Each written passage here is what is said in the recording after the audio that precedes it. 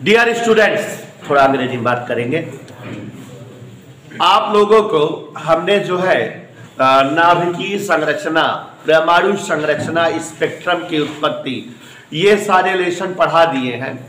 आज हम लोग बहुत ही वीआईपी और फुल इंटरेस्टिंग लेसन पढ़ेंगे नाभ की ऊर्जा।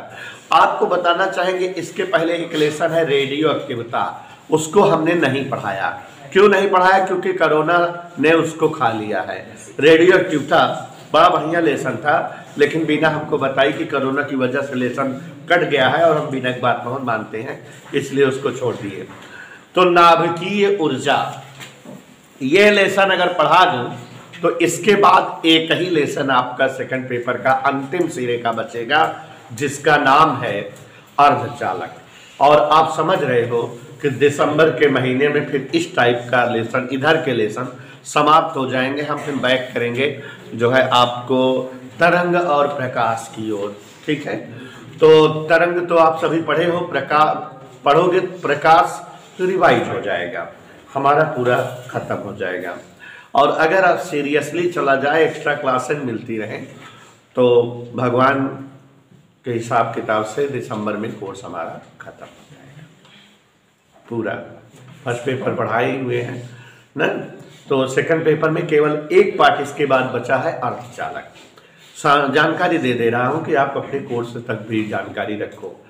जनवरी तक आप लोग पढ़िएगा, सभी लोग जो शुरू से मेरे साथ हो, क्योंकि जनवरी के महीने में जो आध लेसन बचे रहेंगे, उनको पढ़ाएँगे फ़र्स्ट पेपर का प्रत्यावर्ती धारा वगैरह, और फुल अंसाब लगवाएँगे अंसाब लगवाने से बेटा दो फ़ायदे होंगे। एक तो रिपीट हो जाएगा, एक तो अच्छे से तैयार हो जाएगा।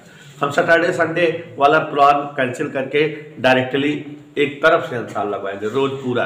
एक महीने में हमारे ख्याल से दस पंद्रह दिन में अंसाब लग जाएगा। एक दो चैप्टर आपकी फरमाइश का पढ़ा दूँगा, जो कोई कहेगा।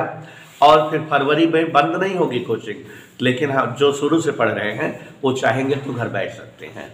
ठीक है, बाकी हम पीछे का पढ़ाना शुरू करेंगे। जो बच्चे लेट लपेट आए हैं, वो अपना पढ़ते रहेंगे। या जो चाहेंगे कि नहीं, हम क्लास लेते रहें, नहीं, घर बैठेंगे भूल जाएगा। तो पढ़ते रहेंगे, कुछ ना कुछ फ़ायदा ही होता रहेगा। ठीक? हम्म। क्योंकि बेटा अगर गैप बहुत मिल जाता है तो जो पढ़े रहे सब भूल जाता है। तो मेरे ख्याल से कोर्स सब सही चल रहा है। अभी कोई खत्म नहीं कर पाया है, ये जान लो। नाभिकीय ऊर्जा परमानेंट पढ़ाने का ये फ़र्क है। इस बार ज़्यादा क्लासेस भी नहीं ले पाएँगे एक्स्ट्रा लेकिन फिर भी। नाभिकीय ऊर्जा। देखो बच्चों, सबसे पहले आज हम लोग जो है, मिलेंगे एक फ़ेमस साइंटिस्ट यशपाल के चाचा भी थे, अल्बर्ट आइंस्टीन से। अल्बर्ट आइंस्टीन के बारे में ये प्रचलित है कि he was the most talented person of the world who used his mind more than other person of the world. देखो, हमारी अंग्रेज़ी आजकल थोड़ा सा तेज हो रही है आप लोगों के साथ। ये हर सुबह सिखाती है हमको इंग्लिश शाम को पंद्रह मिनट पढ़ाती है पर डे ऑनलाइन। तो अंग्रेज़ी मेरी तेज हो रही है। बताया मैंने जैसे कि अल्बर्ट आइंस्टीन एक ऐसे बंदे थे संसार के जिन्होंने, जिनके बारे में कहा जाता है कि जो अपने दिमाग का प्रयोग अपने जीवन काल में अन्य व्यक्तियों के अपेक्षा ज़्यादा किए हैं। ये बहुत टैलेंटेड पर्सन थे। सिद्धार्थ जी, माना यह जाता है कि मनुष्य जब से पैदा होता है और जब तक मरता है, माने संपूर्ण जीवन काल में उसके दिमाग का यूज़ होता रहता है। वो अपने दिमाग का प्रयोग पैदा होने से लेकर के अंत काल तक करता रहता है। और ये जो है तमाम व्यक्तियों के मस्तिष्क का मरने के उपरांत पोस्टमार्टम वगैरह के दौरान डॉक्टर ने जो है चीर फाड़ करके ये कैलकुलेट किया है कि आमतौर पर जो हम आप मनुष्य के रूप में है, विक्रांता जी, पूरे जीवन काल में अपने पूरे के पूरे मस्तिष्क का मोस्टली ये सवा दो प्रतिशत, पौने दो प्रतिशत से लेकर के सवा दो प्रतिशत तक का ही इस्तेमाल कर पाते हैं।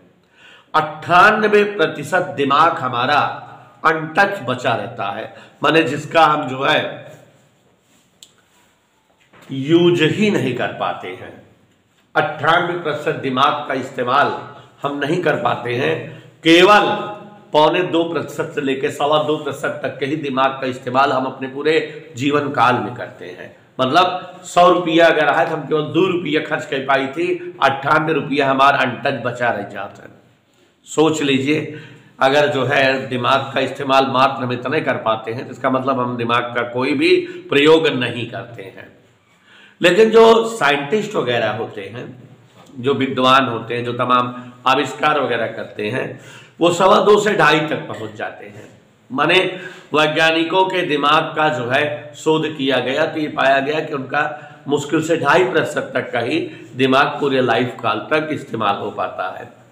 लेकिन बच्चों, जब अल्बर्ट आइंस्टीन के मस्तिष्क का शोध हुआ उनके मरने के उपरांत तो वो जो है सात प्रतिशत खर्च हो गया था। समझ लीजिए कि दुनिया में जितने भी बंदे थे, सबका तीन गुना उन्होंने अपने दिमाग का इस्तेमाल किया था। भाई, अगर दो सवा दो है तो ये लगभग साल पहुँच गए थे। तो मतलब अपने जीवन काल में अल्बर्ट आइंस्टीन हमेशा बेटा कुछ ना कुछ खोजते रहते थे। वो कभी एक मिनट भी बैठते नहीं थे। हमेशा कुछ ना कुछ पता करते रहते थे, ये क्या है, ये कैसे हुआ, ऐसे कैसे हो जाएगा। हमेशा अपने दिमाग का इस्तेमाल करते रहते थे।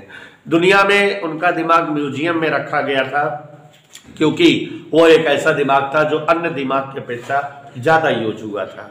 सोचो, अल्बर्ट आइंस्टीन इतने दिमागी पर्सन थे, इतना ज़्यादा टैलेंटेड थे, इतने आविष्कारक थे, और इतना ज़्यादा दिमाग का उन्होंने प्रयोग किया था, लेकिन कितना सात परसेंट। और अगर कहीं कोई है, ऐसा बंदा हो जाए जो दिमाग का उपयोग अस्सी नब्बे परसेंट कर ले तो निश्चित तौर पे ही ही बिकम सुपर पावर वो भगवान हो सकता है है ना? कि उस तो जो चाहे वो हो जाएगा, जैसे चाहे वैसे कर लेगा। तो अब समझ लीजिए कि दिमाग हमारे शरीर में एक ऐसी प्राकृतिक देन है, जिसका हम आप प्रयोग नहीं कर सकते। बच्चों, पूरी तरह से। बच्चों, आपको जो है सोचना चाहिए कि भगवान या जो सुपर नेचुरल पावर है, हमारे शरीर का निर्माण जो करता है, कितना टैलेंटेड पर्सन है। शरीर के एक एक अंग का अपना एक विकराल महत्व है। सबसे बड़ी चीज़ हार्ट हृदय। सोचो हार्ट जो है पंपिंग का काम करता है। इधर उधर ब्लड का जो है सर्कुलेशन और ब्लड को पहुंचाता है, लाता है, भेजता है। आप पंपिंग मशीन जो बनती है समरसेबल वगैरह कितनी बड़ी जगह में कितनी पाइप साइप लगा करके बनती हैं जो पंपिंग मशीन है, और पच्चीस तीस हज़ार की बनती है। अब सोचो कोई एक ऐसी पंपिंग मशीन है जो आकार में बहुत छोटी है, बहुत बड़ी नहीं है।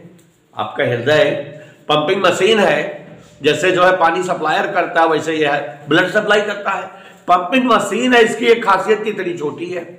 दूसरी खासियत कि बहुत तेज स्पीड से 500 मीटर पर सेकंड के ज़्यादा स्पीड से रक्त की सप्लाई करती माने इतना तेज ये जो है रक्त का प्रवाह करती है।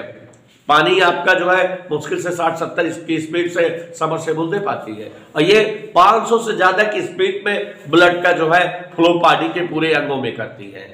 पहली चीज़ तो इतनी छोटी है, ब्लड का सर्कुलेशन बहुत तेज स्पीड में करती है।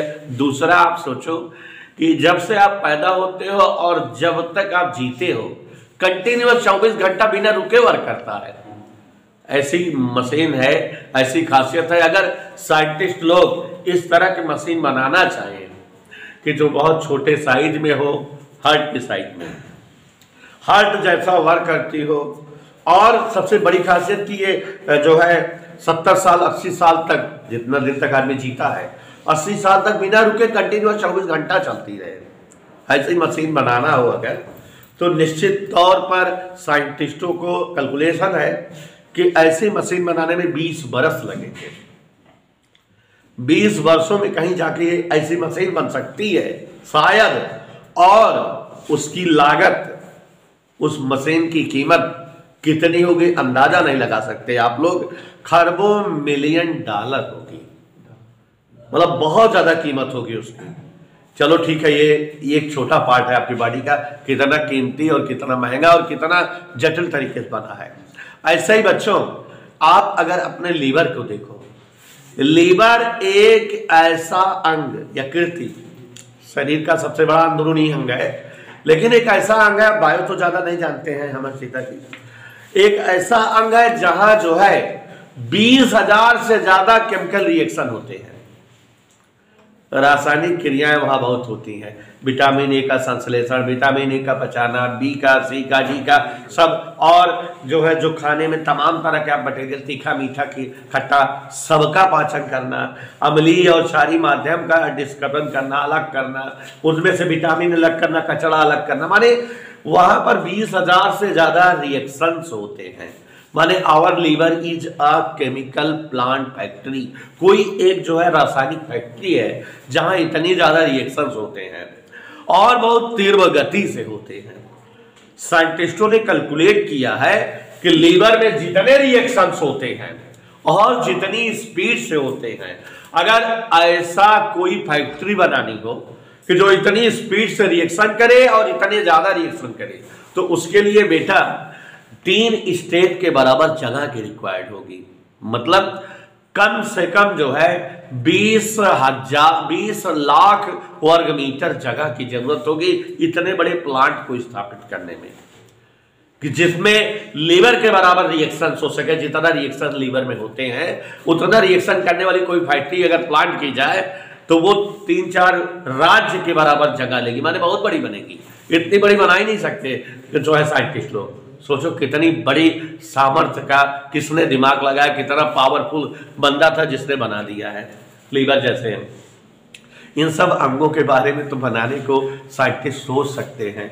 कैलकुलेट कर सकते हैं, बना नहीं सकते हैं, लेकिन कैलकुलेशन कर सकते हैं कि ऐसे बन सकता है, ऐसा कैलकुलेशन हो सकता है, इतने दिन होगा। सोचो लीवर छोटे से है ज़्यादा ज़्यादा एक डेढ़ किलो का पार्ट है, या लेकिन अगर बनाना चाहे तो तीन राज्य कह रहे हैं, जिला नहीं कह रहे हैं। तीन राज्य के बराबर स्थान चाहिए इतनी बड़ी फैक्ट्री डालने का, जिसमें इतना रिएक्शन हो सके। और वो भी कंटिन्यूस चौबीस घंटे होते रहे, ये इम्पॉसिबल है। और इतने बड़े प्लांट को एनर्जी कहाँ से मिलेगी? कहाँ से होगी? आप तो थोड़ा सा खा लेते हो एनर्जी मिल जाती है। कहाँ डीजल पेट्रोल खाते हो? भोजन ही तो करते हो। थोड़ा सा एनर्जी देते हो, सबको काम भर की एनर्जी मिल जाती है। क्या सिस्टम है? इन सब का तो बीना मिश्रा जी कैलकुलेशन है कि ये कैसे बनेंगे क्या क्या होता है। लेकिन महाभवकाली पार्ट जो आपका ब्रेन है, साइंटिस्ट उसके कैलकुलेशन नहीं कर सकते कि उसको भी बनाया जा सकता है। क्योंकि उसका इतना कार्य है, उसके कार्य के बारे में भी साइंटिस्टों को पता ही नहीं है। मतलब कि मुश्किल से जो है उसके 10 प्रतिशत कार्य को साइंटिस्ट जान सके हैं कि ये इतना कार्य करता है।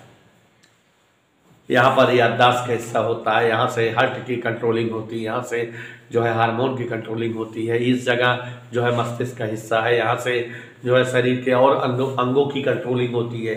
यही तरह जान पाए हैं। अथाह है ब्रेन के बारे में जानकारी ही पूरी नहीं हो पाई है। कैसे है, क्या है, किस तरह से है, उसको बनाने की कल्पना असंभव है। बनाया नहीं जा सकता। कहने का तात्पर्य हमारा शरीर बहुत ही इंपॉर्टेंट है। ठीक है? बहुत इंपॉर्टेंट